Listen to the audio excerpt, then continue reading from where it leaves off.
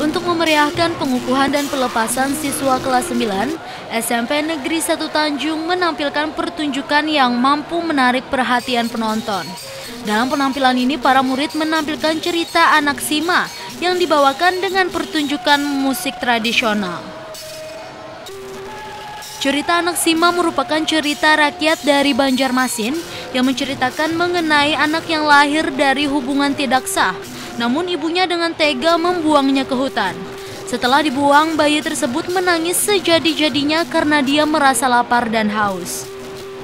Dalam penampilan ini alat musik yang dimainkan yakni alat musik khas Kalimantan seperti kanung, sarun, babun, beduk, dan lainnya. Menurut pembina musik tradisional SMP Negeri 1 Tanjung, Ruhaida Susanti menjelaskan, penampilan ini merupakan upaya dari pihak sekolah untuk memperkenalkan musik tradisional di zaman sekarang. Uh, musik tradisional akan lebih digiatkan lagi, karena kan anak sekarang lebih mengenal dengan alat uh, musik-musik yang ada, yaitu musik-musik modern.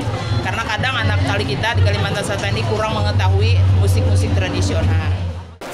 Lebih lanjut, Ruhaida menjelaskan, kesenian musik tradisional dari SMP Negeri 1 Tanjung ini pada Agustus mendatang akan mewakili Kabupaten Tabalong untuk lomba FLS 2N di Banjarmasin. Karena kesenian ini berhasil menjadi juara di FLSN di Kabupaten Tabalong. Sherlino Varianti, TV Tabalong melaporkan.